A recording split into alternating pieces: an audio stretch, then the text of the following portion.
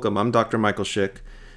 This is a rapid overview of the history of ultrasound and part of a introductory lecture series. The next couple lectures uh, to listen to would be the physics lecture and then the introductory to ultrasound for medical school. So the, for the history of ultrasound, we have come a long way. Just taking a look at these pictures, you can see how large these machines, how complex they used to be, and how difficult they used to be to use. And it all started in 1794. Um, I'm going to mispronounce many of these names, but Lazzaro Spallanzani. He was an Italian physiologist who made some great discoveries. One was in regards to digestion, he was the first one to really understand that digestion wasn't just a mastication process. Um, there was actually a chemical process going on in the stomach and the intestines. Also made some important discover important discoveries for uh, fertilization. But the major thing he discovered in regards to ultrasound is that he realized that bats were able to navigate in pitch black conditions. He called this echolocation.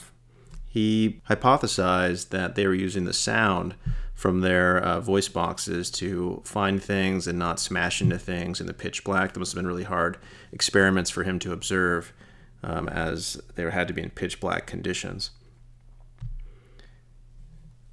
The next great work was done by Jean Daniel Colladon. This is a uh, French physicist who did some really interesting work with light and is one of the people we should thank for optic cables, the ability to use our computers and internet and things like that, but also did experiments with sound in, in water and discovered that sound actually traveled faster through water. And you could say that he had the first transducer, which were large bells within um, the English Channel.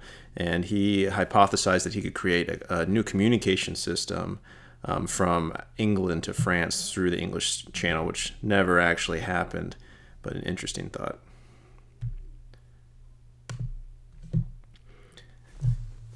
The next major discovery was in 1880. Pierre and Jacques Curie, also uh, two French uh, physicists, brothers actually, and they discovered the piezoelectric effect.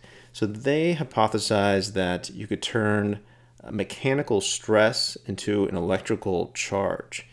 And they experimented all sorts of types of crystals and salts and found that certain salts and quartz were actually the best piezoelectric substances that they could find and they put these things under stress and they were able to measure an electrical charge being generated from them with very rudimentary tools. They had some wires and some glue and um, just some basic uh, mechanical sets.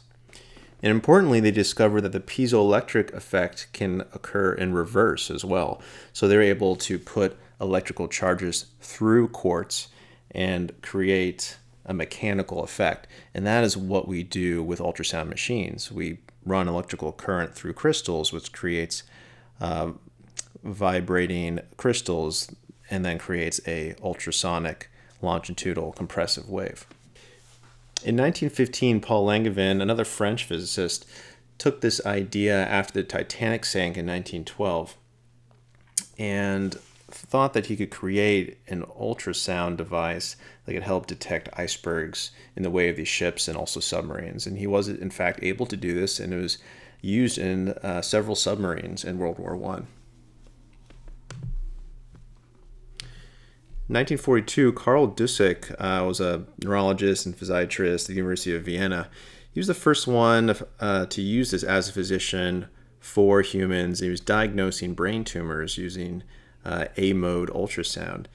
And it's interesting that we're just starting to sort of go back to this uh, cranial ultrasound now after so many years.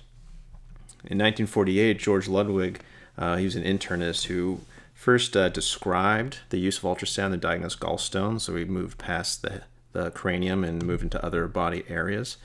In 1958, uh, Ian Donald, he was a Scottish physician um, who worked at the shipyard, also uh, worked as a um, flight surgeon, and really is the pioneer of OB/GYN ultrasound, and you could say abdominal ultrasound too, because he was looking for abdominal masses, and this is how he started getting into uh, ultrasound in the use of abdominal pathology. 1950s through 60s, uh, Douglas Howry and Joseph Holmes really pioneered the two-dimensional B mode ultrasound, and this is really what we're using still to this day. They were at the University of Colorado, and this is a real first boom in diagnostic imaging. And during this time, the American Institute of Ultrasound and Medicine was also founded. In the 1970s, uh, ophthalmologists started using ultrasound for ocular reasons. Also, vascular surgeons started using Doppler. And then the first uses of point of care ultrasound began in Germany and Japan, where physicians started evaluating patients for pericardial effusions. The 1980s is really the second large boom of ultrasound, and this is where it moves into the United States and we start using it for many, many things. So power Doppler is developed, 3D ultrasound is developed, and point of care ultrasound really takes hold and takes off in the United States. In 1997, the first point of care ultrasound fellowship is established in Chicago.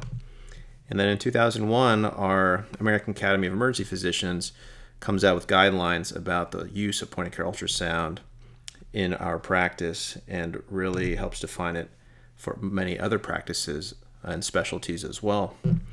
And with this boom of ultrasound and uh, increased use comes technology advancement. And now there's amazing devices that are small, handheld, have great uh, clarity, um, and really has changed the way we diagnose patients and what we can do in many environments. Ultrasound is important for so many reasons, but just to highlight what the WHO estimates uh, that 75% of the world's population has no access to diagnostic imaging. So we can really change that with ultrasound because it's so versatile and portable, now inexpensive, and continues to be safe because there's no radiation. It's really practice changing and it's going to change the whole sort of diagnostic landscape throughout the world and uh, can be provided everywhere, not just in developed countries. And it really puts the power in the hand of the practitioners because they can diagnose things now at the bedside. Um, so it really, this is like versatility defined. You can take ultrasound anywhere. You can have portable uh, devices to help uh, power uh, your ultrasound machines. They can be used in any rural, tactical, or developing environment. Here's uh, up in Everest, and then even the space station. We're using ultrasound, and myself uh, in kind of rural Africa teaching ultrasound.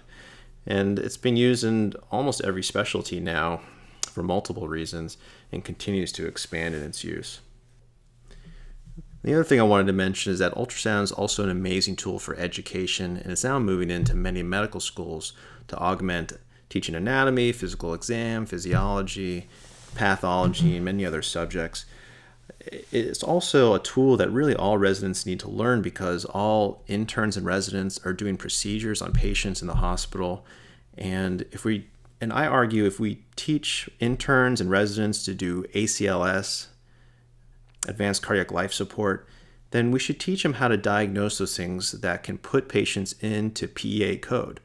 And many of those things need to be identified with point of care ultrasound.